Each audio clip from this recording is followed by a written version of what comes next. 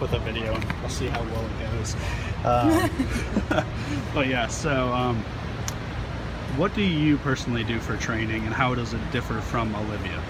Um, well, she definitely focuses more on the really short stuff, you know, 50, 100, and I'm definitely more of like a 100, 200 girl. Um, but you know, we, since we both train for the 100, we do a lot of the same stuff. Um, you know, a lot of like short 25s, short 50s, all fast kind of thing, a lot of kicking.